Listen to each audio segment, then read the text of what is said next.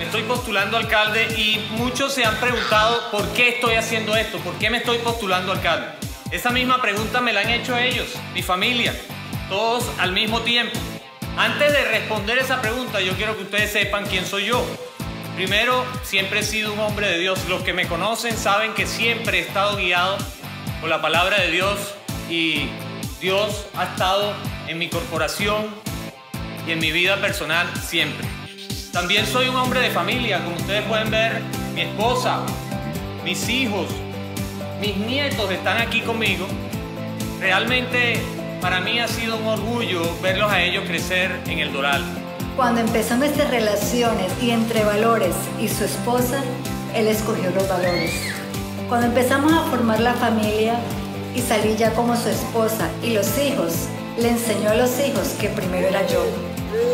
Cuando empezamos los negocios y a crecer en los negocios, y él tenía que escoger la familia o los negocios, escogió la familia. Si él supo decidir cuáles eran las prioridades, les prometo que Luigi, entre la política y el ciudadano doraldino, él va a escoger el ciudadano doraldino. Me estoy postulando porque creo en el proceso democrático, creo en la democracia de, de este país, que los Estados Unidos me ha ofrecido a mí particularmente y a muchos como yo.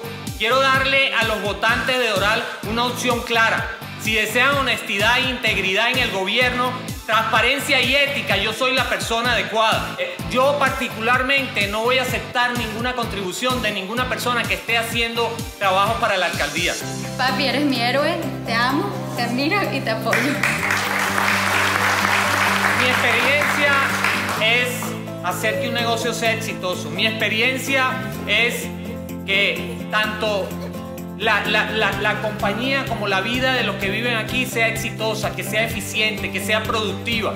No tengo ninguna aspiración política diferente a la de Doral y quiero poner a las personas antes que cualquier agenda política.